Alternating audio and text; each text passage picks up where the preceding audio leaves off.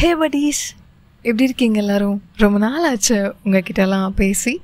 And இன்னைக்கு another episode யாருடைய கதையை பார்க்க போகிறோம் அப்படின்னா Iniya and Inba. Yes episode one எல்லாருமே நல்ல ரெஸ்பான்ஸ் கொடுத்துருந்தீங்க இந்த கதைக்கும். ஸோ கீப் சப்போர்ட்டிங் அஸ் இன்னும் நிறைய கதைகள் உங்களுக்காக நாங்கள் கொடுக்க போகிறோம் இது Kadhal dot com with RJ Amudha. So ரொம்ப நேரம் டைம் வேஸ்ட் பண்ணாமல் கதைக்குள்ளே போயிடலாமா? எஸ் நான் இனியா. நான் வந்து ஆக்சுவலி பி ஜாயின் பண்ணிட்டேன். அண்ட் எங்களோட ஸ்ட்ரீட்டில் தான் இன்பாவும் இருந்தாங்க. அவங்க வந்து பெரிய ஃபேமிலி எங்களோட ஃபேமிலி மாதிரியே. ஆனால் சில ஃபேமிலி இஷ்யூஸால் அவங்க என்ன பண்ணிட்டாங்கன்னா இங்கே சென்னை வந்துட்டாங்க. அவங்களோட பெரிய அண்ணா கூட வந்துட்டாங்க. அண்ட் தென் அவங்க ஆக்சுவலி ஸ்கூல் வந்து ட்ராப்ட் அவுட்டு அவங்க வந்து ஃபேமிலியை பார்த்துக்கணும் அப்படின்ற ஒரு ரெஸ்பான்சிபிலிட்டிக்காக அவங்க படிக்கவே இல்லை. நான் வந்து இன்ஜினியரிங் படிச்சுட்ருந்தேன் அண்டு அண்ட் ஒரே தெரு தானே. ஸோ அதனால் போகிறப்ப வரப்ப எல்லாம் பார்த்திங்கன்னா அவர் ஆக்சுவலி மெக்கானிக் ஷாப்பில் ஒர்க் பண்ணிட்டு இருந்தாங்க. இந்த காதல் படத்தில் சந்தியா பரத் பார்த்துருக்கீங்களா அந்த மாதிரி தான் கொஞ்சம் எங்களோட லவ் அந்த மாதிரி இருக்கும். அண்டு நாங்கள் டெய்லியுமே ஆக்சுவலி பார்த்துப்போம் டெய்லியுமே பேசுவோம். உங்களுக்கு ஒரு விஷயம் தெரியுமா? என்கிட்ட பேசணும் அப்படின்றதுக்காக. அப்போல்லாம் நம்மளுக்கு இந்த மொபைல் ஃபோன்லாம் கிடையாது இல்லையா? ஜஸ்ட் டெலிஃபோன் எக்ஸ்சேஞ்சாக ஸோ அவர் டெலிஃபோன் வாங்கணும் அப்படின்றதுக்காக அவருடைய புல்லட்லாம் வித்துட்டாருன்னா பார்த்துக்கோங்களேன் ஹீ இஸ் ஸோ ஸ்வீட் என்னை இன்னமும் ஒரு குழந்த மாதிரி தான் பார்த்துக்கிறாரு எங்களுக்குள்ள எந்த ஈகவும் இல்லைங்க. நீ பெரியவனா நான் பெரியவனா. அந்த மாதிரி என்றைக்குமே நாங்கள் ஃபீல் பண்ணதே கிடையாதுங்க. நிறைய பேர் நாங்கள் லவ் பண்ணும்போது சொன்ன விஷயம் என்ன அப்படின்னா நீ வந்து பிஏ படிச்சுட்ருக்க அண்ட் உங்களோட அம்மா அப்பாவுக்கு நிறைய கனவு இருக்கும். நீ ஒரே ஒரு பொண்ணு. உங்கள் அம்மா அப்பா என்னென்னா அவ்வளோ நகை சேர்த்து வச்சுருக்காங்க. ஒரு கிராண்டாக மேரேஜ் பண்ணணும்னு நினைக்கிறாங்க.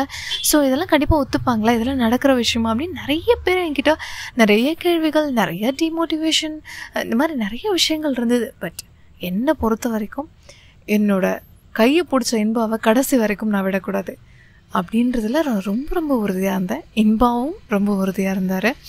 நிறைய ஸ்ட்ரகிள்ஸ் நிறைய ஸ்ட்ரகிள்ஸ் பார்த்துட்டோம். செவன் இயர்ஸ் ஆஃப் லவ் எங்களோட லவ் அண்ட் பிஏ முடிச்சிட்டேன். அண்ட் அதுக்கப்புறம் வீட்டில் லவ் சொன்னோம். லவ் வந்து அக்செப்ட் பண்ணிக்கல. படிக்காத பையன் அப்படின்றனால அக்செப்ட் பண்ணிக்கல. பட் நான் சொன்ன ஒரே ஒரு விஷயம். நீங்கள் வெளியில் ஒரு செட்டிலான மாப்பிள்ளையை பார்த்து கல்யாணம் பண்ணி கொடுத்துட்டீங்க. ஃபாரின் போய் செட்டில் ஆகிட்டேன்னு வச்சுக்கோங்க அங்கே என்னை குடும்பப்படுத்துனாங்கன்னா யார் வந்து என்னை காப்பாற்றுவா உங்ககிட்ட நான் சொல்லி அழுக முடியுமா? நான் ஒரே ஒரு பொண்ணு இருக்கேன். நீங்கள் எப்படி ஃபீல் பண்ணுவீங்க? அதுக்கப்புறம் நீங்கள் தப்பு பண்ணிட்டீங்கன்னு நீங்கள் ஃபீல் பண்ணுவீங்க. அதுவும் இல்லாமல் என்னோடய லைஃப்பும் ஸ்பாயில் ஆகிடும் இந்த இடத்துல எனக்கு பிடிச்ச வாழ்க்கையை நான் தேடிக்கிறேன்.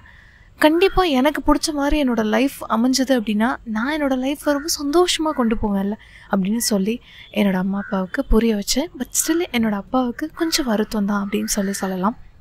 பட் இது வரைக்கும் இன்பா எவ்வளோ ஸ்ட்ரகிள்ஸை ஃபேஸ் பண்ணியிருக்காங்க லைஃப்பில் ஒரு மெக்கானிக் ஷாப்பில் ஒர்க் பண்ணி தனியாக தன்னோட சொந்த காலில் நிற்கணும்னு சொல்லி இன்றைக்கி இருபது பேருக்கு சம்பளம் கொடுக்குற அளவுக்கு ஒரு உயர்ந்த இடத்துல இருக்காரு அப்படின்னா நான் இன்பாவை நினச்சி ரொம்பவே பெருமைப்படுறேன். எத்தனை பேர் எங்களை வந்து சுற்றி நின்று குறை சொன்னாங்களோ அவங்கெல்லாம் இன்றைக்கி இப்படி ஒரு மாப்பிள்ளை நம்ம இனியாவுக்கு தேடினாலும் கிடைக்காது அப்படின்னு சொல்கிற அளவுக்கு இன்றைக்கி உயர்ந்திருக்காரு Inba. I always feel proud of him actually and இன்னும் ஒரு விஷயம் சொல்லணும் அப்படின்னா இன்பா வந்து யாராவது ரோட்டில் யாராவது ஒருத்தவங்க கஷ்டப்பட்டாங்க அவங்க முன்னாடி யாராவது ஒருத்தர் கஷ்டப்படுறாங்கன்னு வச்சுக்கோங்களேன். அதை பார்த்துட்டு அவரால் இருக்கவே முடியாது. கையில் என்ன இருக்கோ அப்படியே தூக்கி கொடுத்துருவாருங்க. அந்த காசு எவ்வளோ இருக்கோ அதெல்லாம் எண்ணிலாம் பார்க்க மாட்டார். ஒரு ஃபோன் வருதா கஷ்டம்னு சொல்கிறாங்கன்னா உடனே கொடுத்துருவாரு. இன்னைக்கு கூட அவங்க கீழே ஒர்க் பண்ணுற ஒரு இருபது பேருக்கும் அவரோட அவங்களோட எல்லா ஃபேமிலிக்கும் ஒரு கஷ்டம் அப்படின்னா கண்டிப்பாக உடனே போய் ஹெல்ப் பண்ணக்கூடிய அப்படி ஒரு ஒரு பியூட்டிஃபுல்லான சோல் இந்த வேர்ல்டு அப்படின்னு நான் சொல்லுவேங்க. அந்த மாதிரி ஒரு கேரக்டருக்கு காசு எப்படிங்க ஈடாக முடியும் இல்லையா?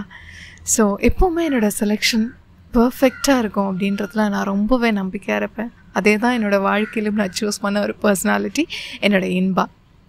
எங்களோட seven years of love and eleven years of marriage life இதெல்லாம் சேர்த்து ஒரு பதினெட்டு வருஷம் எங்களோட வாழ்க்கையில் ரொம்பவே ஹாப்பியாக நாங்கள் ட்ராவல் பண்ணுறோம் uh, ஒரு ஒரு குழந்தை எப்படி பார்த்துப்பாங்க? ஒரு அம்மா ஒரு அம்மாவா ஒரு அப்பாவா?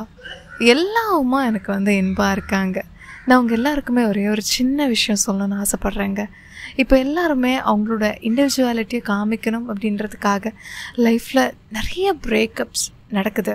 மேரேஜுக்கு அப்புறம் ஃபேமிலி கோர்ட் முன்னாடி அவ்வளோ டிவோர்ஸஸ் ஃபைல்ஸ் வந்து குமிஞ்சு கிடக்கு. ரீசெண்டாக ஒரு ஆர்டிக்கிளில் படிக்கும்போது ரொம்ப கஷ்டமாக இருந்தது மனசுக்கு உண்மையிலே. முதல்ல ஒரு ஒருத்தரை பிடிக்குது நம்ம லவ் பண்ணுறோம் கல்யாணம் பண்ணுறோம் அது ஏன் கல்யாணத்துக்கு அப்புறம் அவங்களோட நிறைய விஷயங்கள் நம்மளால் ஏன் அக்செப்ட் பண்ணிக்க முடியல? அந்த லவ் பண்ணுறம்போது நம்மக்கிட்ட இருக்கிற அக்செப்டன்ஸ் அதுக்கப்புறம் ஏன் வரமாட்டேங்குது? அதை ரெண்டு பேருமே உட்காந்து ஒருத்தருக்கு ஒருத்தர் பேசி அந்த பிரச்சனையை தீர்த்துக்கிட்டோம் அப்படின்னா ஃபர்தராக அவங்களுக்குள்ள மிஸ் அண்டர்ஸ்டாண்டிங் அப்படின்றதே இருக்காது. ஒரே ஒரு விஷயந்தாங்க பிரேக்கப்புக்கு டிவோர்ஸ்க்கு எல்லாமே காரணம் ஈகோ இங்கே நீ பெரியவனா நான் பெரியவனா? நான் வாழ்ந்து காமிக்கிறேன் உனக்கு முன்னாடி அப்படின்னு சொல்லிட்டு ரெண்டு பேரும் போய் தனித்தனியாக வாழ்ந்து காமிக்கிறாங்க. இதில் என்னங்க வாழ்ந்து காமிக்கிறதுக்கு அர்த்தம் இருக்குது சொல்லுங்கள் வாழ்ந்து காமிக்கணும் அப்படின்னா ரெண்டு பேருமே சேர்ந்து சந்தோஷமாக வாழ்கிறது தான் இந்த வாழ்க்கை இல்லையா? ஸோ ஒரே ஒரு விஷயந்தான் சிம்பிளாக அன்லிமிட்டடாக லவ் பண்ணுங்கள் யாருக்கு நீங்கள் ப்ரையாரிட்டி உங்களோட லைஃப்பில் கொடுக்கணும் அப்படின்றதுல ரொம்ப தெளிவாக இருங்க.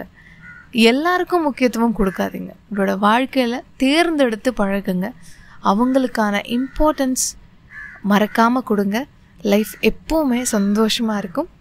அண்ட் என்னோடய ஸ்டோரியை ஷேர் பண்ணதில் எனக்கு ரொம்ப சந்தோஷம். And thank you so much for this channel Ippadikku Kaipulla சேனலில் காதல் டாட் காம் கேட்டுட்ருக்கீங்க வித் ஆர்ஜே அமுதா. அண்ட் என்னோட ஸ்டோரியோட அண்ட் இன்னொரு ஸ்டோரியோட உங்கள் எல்லாரையும் மீட் பண்ணுறேன் and until then signing off from Amudha. Good night sweet dreams have a happy day